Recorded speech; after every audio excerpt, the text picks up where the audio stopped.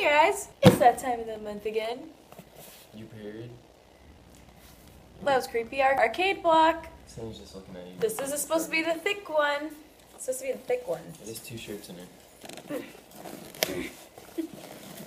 Alright, finally, here we go. It's the mega box. Boo Boo is going to sit right in front of the, the camera. Why do you always look at me? I don't know what it is. What is this? What are those? What are those? Who's this guy?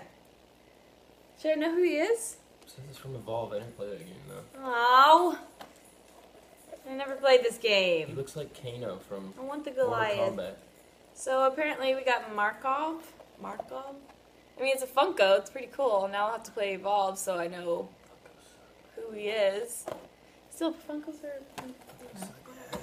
Oh, shut up. We have. Is this a turd? Cut the rope. We have a heart. It looks like a Heart. looks like candy.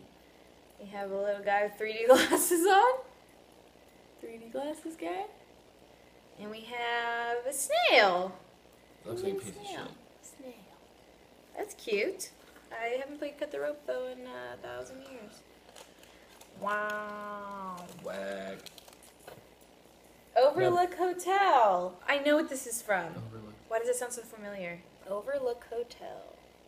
And then, oh my god. Wait, what's it called? Overlook what? Oh my god.